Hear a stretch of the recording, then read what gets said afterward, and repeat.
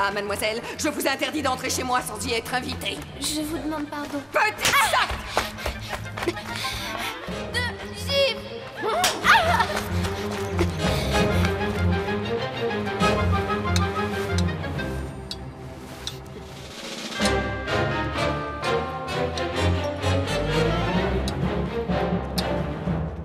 Regardez-moi ça.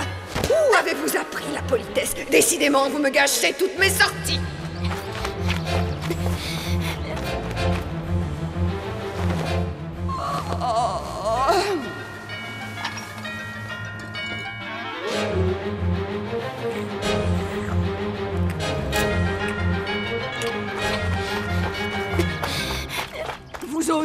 devant moi Votre cousin est mort, mademoiselle.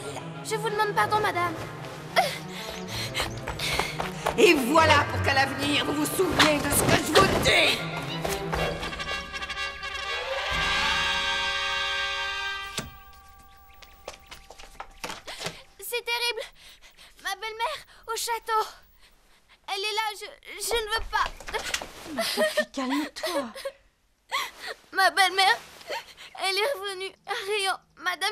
Cela devait arriver un jour. Ne t'inquiète pas, ma chère enfant. Nous ne t'abandonnerons pas. Je te le promets. Tu es sûre de ce que tu avances, tu l'as vu. J'ai vu la calèche. Je vous en supplie, je vais rester avec vous. Je vais aller me rendre compte moi-même. Je parlerai à ta belle-mère, Sophie. Ne t'inquiète pas.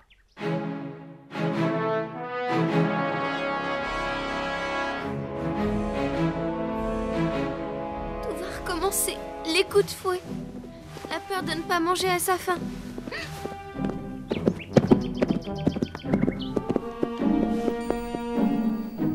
Ta belle-mère veut te voir, Sophie. Alors elle est revenue? Oui, Sophie. Elle veut te parler. Non, je vous en prie. Il le faut, ma Sophie. N'aie crainte, je vais t'accompagner. Le plus important, c'est qu'elle accepte que nous devenions tes tuteurs. Nous serons désormais tes parents, ma chère enfant. Je pourrais vous appeler papa et maman. Oui, ma chérie. Tu ne dois plus avoir peur. Tu ne retourneras pas vivre avec elle. Son mariage en Italie a été bien malheureux. Le soi-disant comte Blagowski qu'elle a épousé était un ancien bagnard. Madame Fichini est très malade, Sophie. Oh, papa, papa Que nous allons acheter le château que nous venons de visiter.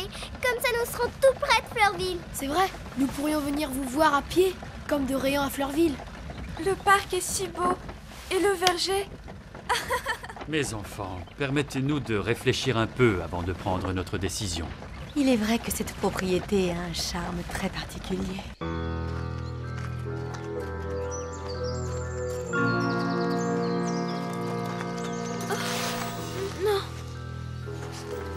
Allons, Sophie.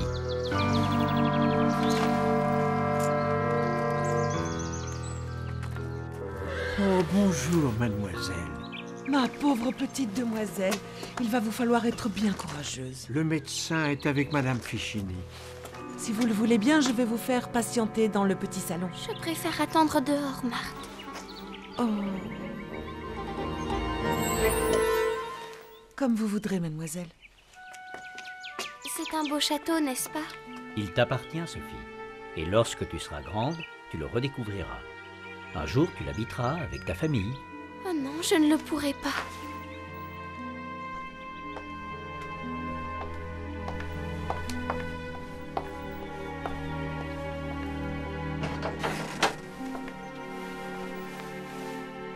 Regardez, c'est ma maman.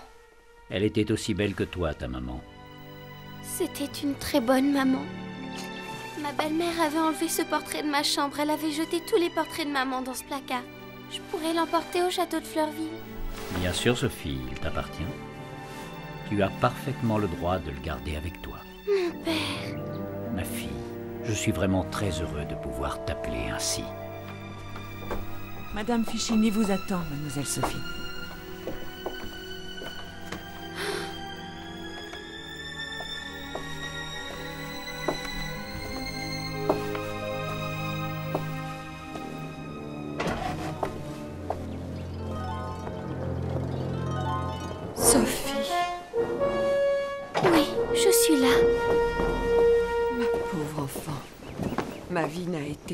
Malheur. Je vais bientôt mourir. Je te confie à Monsieur de Rugès et à Madame de Fleurville. Ils seront aimés comme un père et une mère. Moi, je n'ai pas su. J'ai été injuste avec toi. J'étais jalouse et pardon de t'avoir fait souffrir. C'était malgré moi. Puisses-tu me pardonner?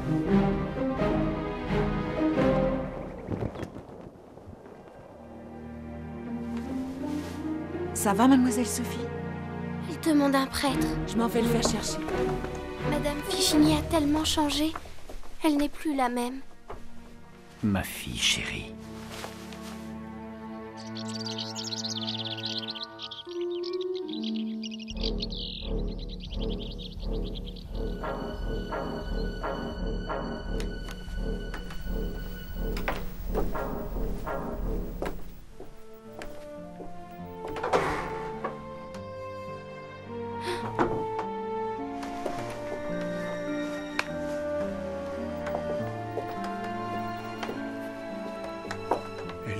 De votre pardon, mon enfant. Accordez-lui cette grâce avant qu'elle ne meure.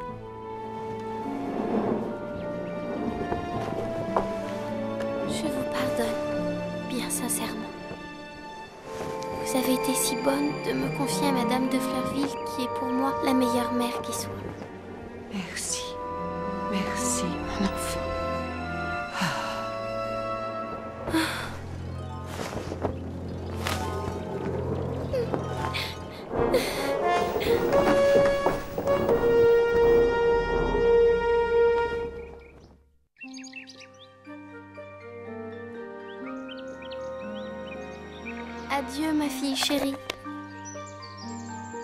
Fois, nous ne nous reverrons plus.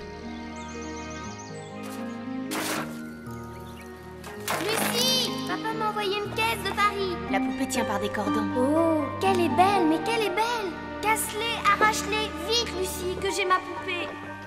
Ah Hum, la ta la la la la. Oh, comme je suis heureuse Une poupée? Oh oui, Sophie, emmène-nous vite voir ta poupée. Venez, jamais vous n'en avez vu d'aussi belle. Elle est aveugle. Elle n'a plus Dieu. Quel dommage. Ce sont les yeux qu'on entend. La cire a fondu autour et ils sont tout mous. Paul, allume la bougie et apporte-la-moi, je te prie.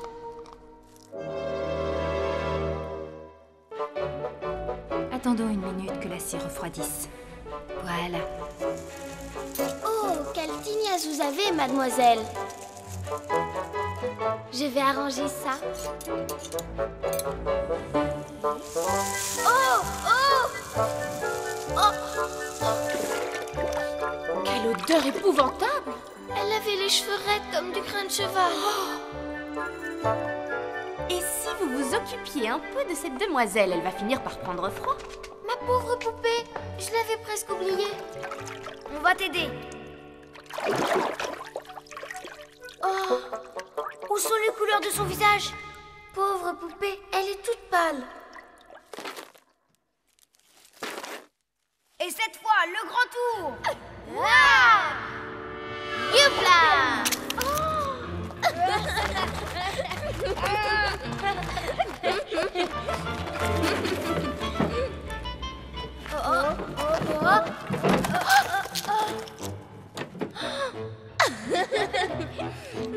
Très bien. Ah, et le petit morceau aussi. Voilà. Et hop, dans le trou. Chère poupée, tu étais la plus gentille et la plus belle des petites filles. La vie a été cruelle avec toi. Tu t'es cassé un bras, tes cheveux ont été brûlés, tes jolies couleurs se sont envolées. Tu vas me manquer.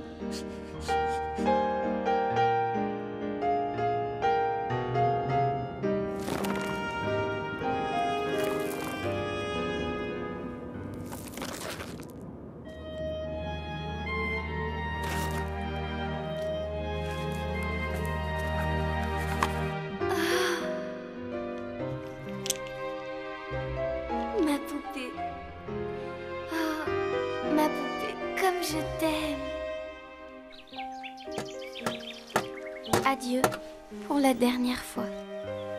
Je suis trop grande maintenant pour jouer à la poupée. Sophie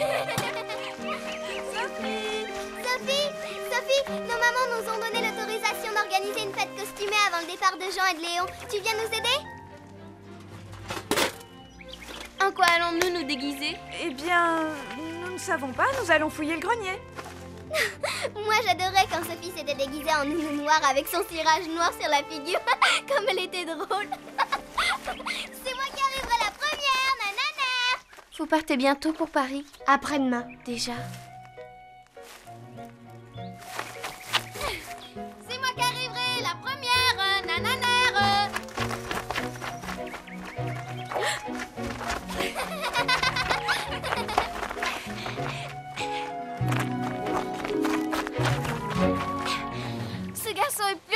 que l'éclair. Paul me bat toujours à la course. Oui, mais c'est toujours toi qui gagne aux cartes. Mes chers enfants, Elisa et Hurel sont venus nous annoncer leur fiançailles. Mon Elisa, voilà une bien excellente nouvelle. Vous serez, j'en suis sûre, une si bonne maman. Mais alors, tu ne seras plus avec nous? Vous êtes grandes maintenant, mes enfants. Et puis je viendrai vous voir très souvent, le village n'est pas bien loin. Et si justement pour la fête costumée, tout le monde se déguisait en marié? Oh oui, quelle bonne idée Moi je serai la fiancée de Paul. On ne risque pas d'oublier que vous voulez épouser votre Paul, mademoiselle la fiancée. C'est à vous, ma bonne demoiselle, que je dois mon bonheur. Si vous ne vous étiez pas perdue dans la forêt, je n'aurais jamais connu ma chère Elisa. Sophie a toujours eu une façon très particulière de rendre service aux autres, mais elle ne s'en rend pas compte.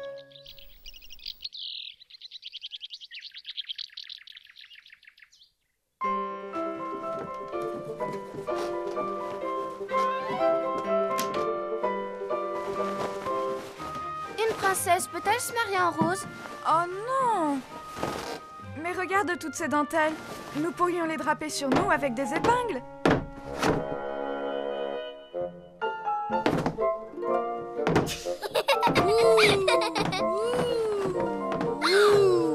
C'est moi, le fantôme du château de Fleurville Mesdames, mesdemoiselles, messieurs, ce soir, vous allez assister au plus grand mariage jamais fêté dans toute la région. C'est une soirée bien réussie. Ton costume est super, mon garçon. La tienne aussi. Merci. Tu l'as trouvée où? Tu es Mes très belle. amis, ma chère sœur et moi-même avons l'honneur de vous présenter notre nouvelle fille, Sophie, que nous avons adoptée officiellement. Bravo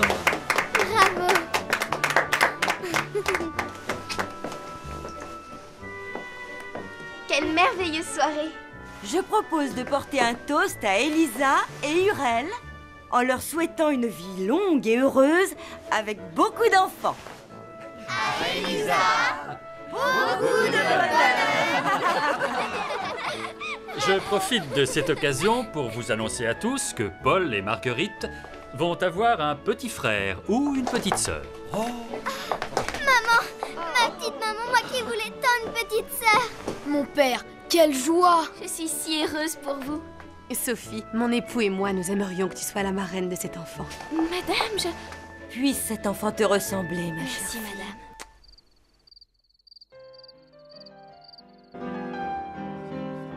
Vous êtes un bien habile danseur, mon cher lieutenant. La marraine a le choix du prénom de son filleul, n'est-ce pas? Si c'est un garçon, j'aimerais qu'il s'appelle Jean.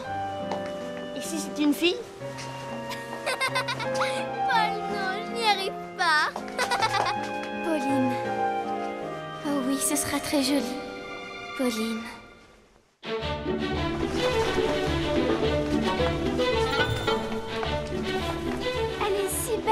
Robe, la plus belle de toutes les robes. C'est mon plus joli cadeau d'anniversaire. Pauline Pauline Pauline Oui, maman. Cette caisse est arrivée de Paris pour toi, Pauline. Pour les 10 ans de ma filleule chérie, puisse cette poupée être ton amie et ta confidente. Ta marraine qui t'aime, Sophie. Maman, maman, vite Une poupée que ma marraine m'a envoyée de Paris. Vite, aidez-moi à défaire les cordons. Ne sois pas trop impatiente, Pauline. Cette poupée est peut-être fragile. J'ai tellement envie de la voir, maman. Là, voilà. Regarde comme elle est belle.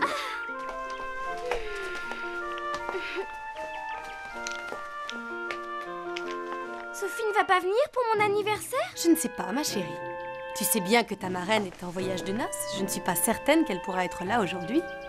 L'essentiel, c'est qu'elle ait pensé à toi.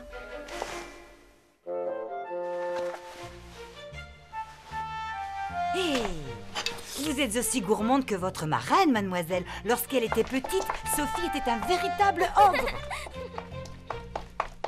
Oh, j'aimerais tant prendre la petite Catherine sur mes genoux. Ce n'est pas un jouet, Pauline. Et d'ailleurs, tu as une bien gentille fille, toi aussi. Ce n'est pas pareil tout de même. Paul Marguerite Mon petit biscuit chéri. Mais Marguerite, je ne suis pas un petit biscuit. J'ai 10 ans maintenant. Je suis grande. Bonjour, ma très grande sœur. Quel dommage que tu sois si grande.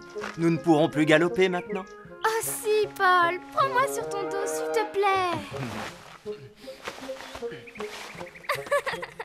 plus vite, plus vite.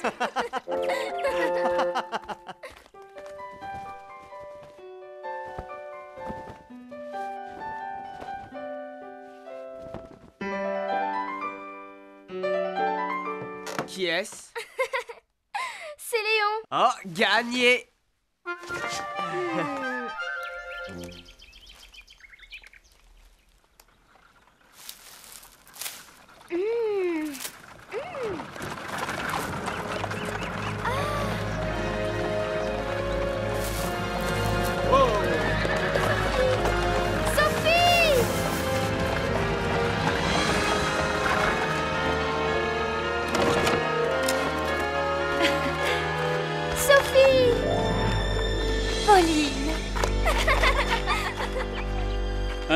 d'affaires m'a confié que Sophie gérait sa fortune et ses biens avec une autorité et une habileté peu communes. Cela ne m'étonne guère. Il le faut bien. Elle a des affaires, et pas des moindres, jusqu'en Amérique. Maman, papa, Sophie est là. Sophie et Jean sont venus. Ma mère Comme je suis contente d'être parmi vous. Comment était ce voyage de noces? Nous avons passé un séjour merveilleux en Suisse, au bord d'un lac. Elle est tellement belle, ma poupée. Merci, ma reine chérie. Elle a de beaux yeux et sa petite bouche, on dirait qu'elle se moque de nous. Tu ne lui feras pas trop de misère, pas comme moi. Si tu savais tous les malheurs que ma poupée a eus. Mais où sont Paul, Marguerite et Camille? Ils sont tous allés rendre visite à Urel et Elisa qui vient d'accoucher de son quatrième enfant. C'est un garçon honoré. Nous avons ramassé un Edelweiss pour toi dans les Alpes. C'est une fleur extrêmement rare. Oh, merci, merci. Elle est mignonne, toute douce avec un petit duvet. Comme il est joli, ce petit carnet. Je le voudrais bien pour moi. Je ne peux pas te le donner. C'est un cadeau que m'a fait mon amoureux quand j'étais petite. Petite comment? Plus petite que toi. Eh bien, moi, j'ai pas d'amoureux. Ça viendra, ne t'inquiète pas. Moi, tu sais, j'ai eu beaucoup de chance.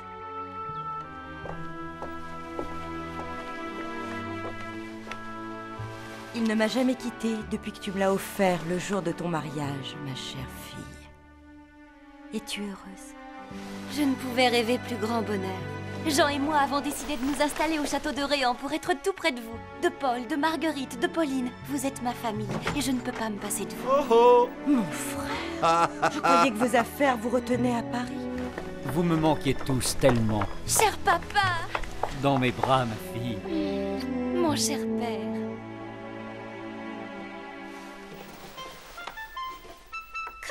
Jolie Oh, il y a tout ce qu'il faut Regardez les petits ciseaux et le poinçon Et cette dinette Je n'en ai jamais eu d'aussi ravissante. Oh, maman, maman Est-ce que je pourrais faire du thé tout à l'heure? Pourquoi ris-tu, Sophie? Parce que ma filleule m'amuse, elle me rappelle quelqu'un. Sais-tu, Pauline, que lorsqu'elle était petite, Sophie faisait le thé le plus. Le plus mauvais de toute l'Europe Vous dites de vilains mensonges, mon frère Alors, maman, je pourrais faire du thé Vous me donnez la permission? Bien sûr, ma chérie. Je t'aiderai si tu veux. Tu surveilleras ta marraine, Pauline, n'est-ce pas? Pauline, sais-tu que ta grande sœur n'arrêtait pas de m'embêter quand j'étais petite? S'il fallait euh, faire le concours, je crois que j'étais un enfant bien embêtant. C'est moi surtout qui te faisais enrager. Trêve de plaisanterie, je vous demande un petit moment d'attention.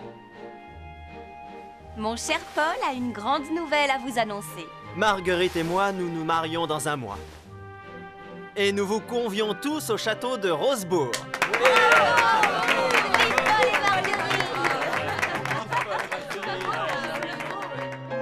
Attention, Pauline. Souffle bien toutes les bougies.